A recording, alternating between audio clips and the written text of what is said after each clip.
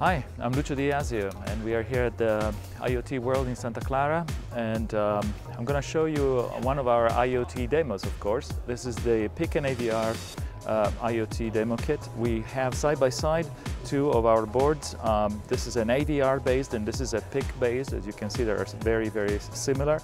Um, both demonstrate the connection to the cloud for small sensors and actuators and um, rapid prototyping of solutions um, for um, developers, embedded control developers. So you don't need to be an expert of networking, uh, no shortcuts on security, and you get a very effective solution. Um, here I'll show you actually how fast also the solutions are. I put my hands on the light sensor, you see the signal going down to close to zero. As soon as I remove my hand, instantaneously you see um, the signal going back up. These are very fast, very effective solutions yet we're using just 8-bit microcontrollers. You need more sensors. We have 500 different sensors and actuator to choose from that you can uh, build and rapidly prototype your IoT solutions uh, with PIC and AVR.